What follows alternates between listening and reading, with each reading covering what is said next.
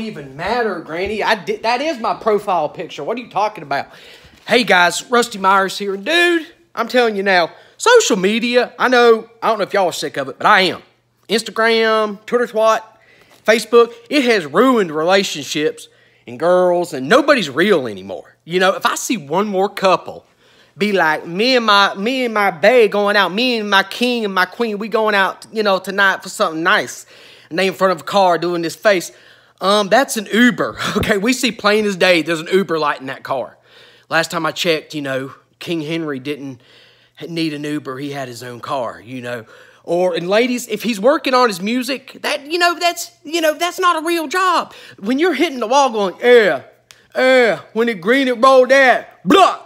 You know that's not that's that's not working on your music. That might be working on your future at Burger King, you know, but that's not working on your music. Okay, and so many of these ladies out there making a face like me and Boo at the spot tonight, you know, holding it down at the spot.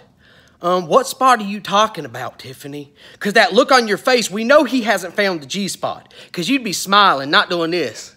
So, what spot are you talking about y'all holding down?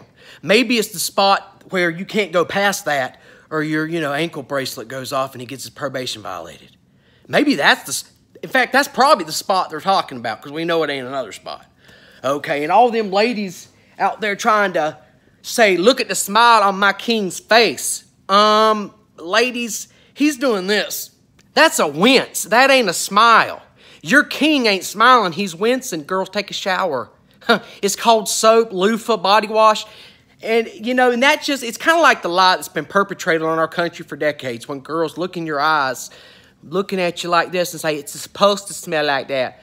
No, it isn't. Like, no, no, no, no, no. That's a lie, okay? No.